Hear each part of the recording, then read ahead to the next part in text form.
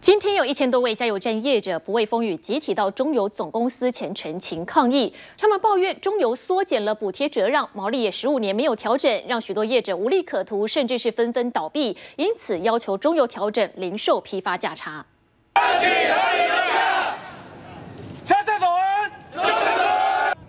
加盟业者不畏风雨，大声疾呼，高举抗议布条，为的就是争取自己的权益。业者抨击中油长期主导国内油价，加上给予业者补贴的折让，也砍了将近一半，让业者几乎快要撑不下去。因为中油这个不合理的折让不合，然后已经有十五年没有来来做调整，啊，这这后每造成将近两百家的加油站业者因为这样而倒闭而关门，没办法继续生存下去。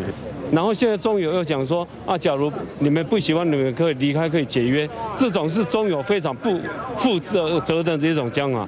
二十多年，中油给我们的毛利折让也好，一直都，反而是毛利没有改变，折让又把我们收回去了。所以相对的，在业竞争的这个时代，反而我们的空间更少。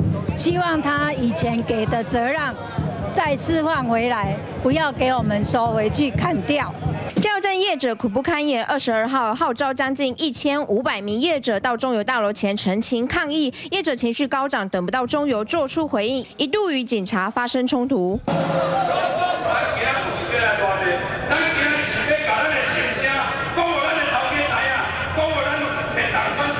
最